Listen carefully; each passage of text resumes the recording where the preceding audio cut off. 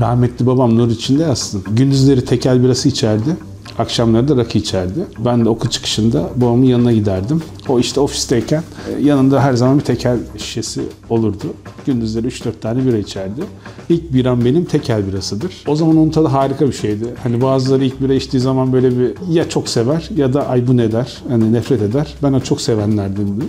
Zaten o yüzden başladı her şey herhalde. Yani birayla ilgili bu tutkunun evrilmesi de üniversiteyle beraber başladı. O zaman bir kız arkadaşım vardı.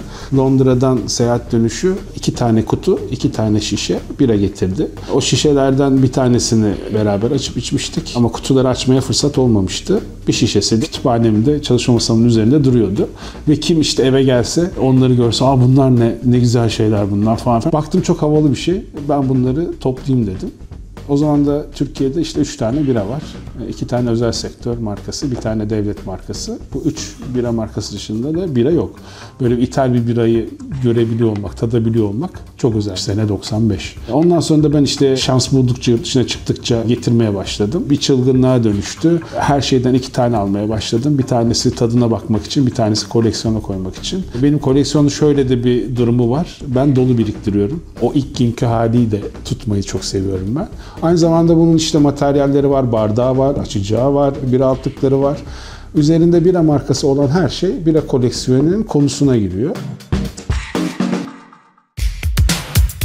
Biz Instagram'da sayfamızı ilk açtığımızda böyle mesajlar geliyordu. Bu işte günahtır, böyle şeyler yapmayın, işte dinimize geri dönün falan gibi size tebliğde bulunan insanlar vardı. Bir dönem böyle mesajlar çok alıyorduk. Hani yüz yüze geldiğin zaman söyleyenler ya da söyleyemese bile şöyle bakışında hani bu adam alkolle çok iç içe hani bunda var mı bir alkoliklik bakışı vardır ya onu hissederseniz kelimelere dökemese bile. Mesela benim ailemde bu kadar bir şişesini toparlıyorum evde şey yapıyorum. Şimdi konu komşu ne der yavrum? Ya bu çocuğun evinde bir sürü bira var. Acaba her akşam bira mı içiyor? Ben her akşam bira içmiyorum. Haftalık benim bira tüketimim birçok insandan azdır. Ama hani böyle bir algınız var. Bunu her zaman yaşadığımız şey. Ama şarabı üretene de bu gözle bakarlar. Fabrika sahibine de orada çalışan kimyagere de satana bile o gözle bakılan bir durumdayız şu anda. Kim ne derse desin. Herkes kendini biliyor. Geçenlerde bir şey gördüm. Hani şarabı biz de içeceğiz. Biz de deliler gibi içeceğiz. Yani hani bize onu diyenlerin içinde öyle bir kalmışlık var ki, öyle bir yaşamamışlık var ki belki bizden çok alkolikler farkında değiller. Şimdi o inkar edenlerin Abdülhamit hanları vardır koskoca. E bu ülkede ilk bira fabrikasının ruhsatına izin veren Osmanlı padişahı 2. Abdülhamit'tir. Yani o dönemde içki üretimine dair ruhsat verilmiştir. İçki üretebilirsin demiştir padişahımız. Şimdi padişahın olur dediği şeye sen kul olarak nasıl hani bu olmaz diyorsun. Yani Osmanlı'da vardı her şey yani. Osmanlı döneminde şimdi özellikle Tanzimat sonrasında işte bir batılaşma, bir batının güzel şeylerini alma.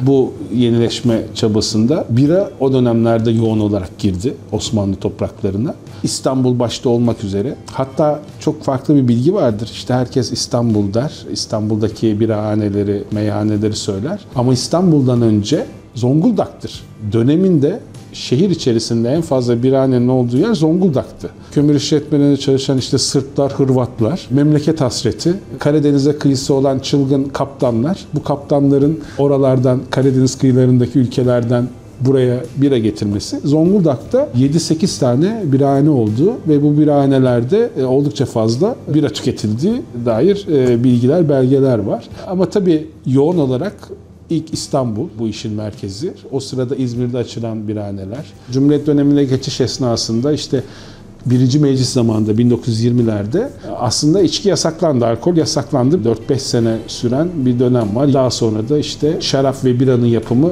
devlet tekelindedir diye ilk tekelin çıktığı bir dönem var. 60 ihtilalinden sonra özel bira şirketlerinin de bira üretmesine izin verildi. Sadece tekel bira üretiyordu o zaman. Bu özel iki bira ile beraber çok uzun bir süre gerçekten Türkiye'nin birayla tanıştığı dönem. O zamanlar yılda 35 milyon litre bira üretiliyor ama talep 70 milyon litre. O yüzden zaten bu özel fabrikalar açıldı. Tekel yetişemiyordu.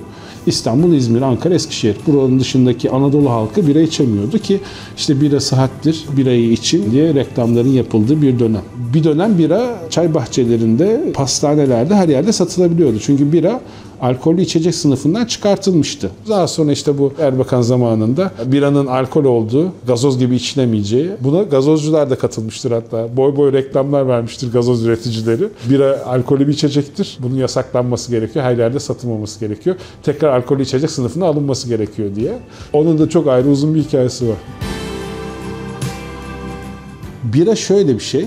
Aslında bira en eski alkollü içecek. İşte şarap üst mertebe bir içecektir. İşte şarap tanrılara adanmıştır. Şarabı sadece üst kesim içebilir. Ama bira öyle değildir. Bira halk içeceğidir. Birayı herkes içebilir. Biranın çok yaygınlaşmasının sebeplerinden bir tanesi de aslında bu veba salgınları. Orta çağda su sıkıntısının olduğu, mevcut suların pis olduğu dönemde su kaynatılarak bira yapılıyor. Bu yüzden bira aslında o zamanki en temiz, en sıhhi içecek. İlk bira nasıl, ne zaman, nerede bulunmuş derseniz Göbekli Tepe'de bulunan künklerin içerisindeki kalıntılarda bunun bir fermentasyona ait kalıntılar olduğu, bir alkol ürettiğine dair bilgilere ulaşıldı.